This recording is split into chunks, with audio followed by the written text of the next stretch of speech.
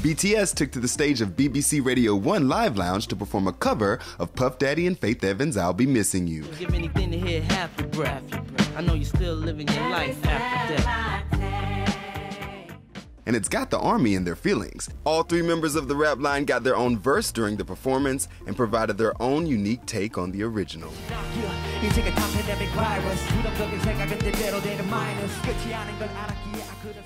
And the vocal line got their shine as well as harmonies and ad libs soared on the emotional hook.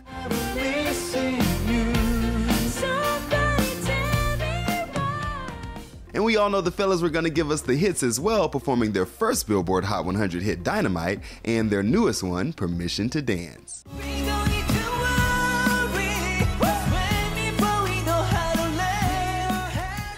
The Jin and Jungkook vocals get me excited every single time. Running it down for you always, I'm Tetris Kelly for Billboard News.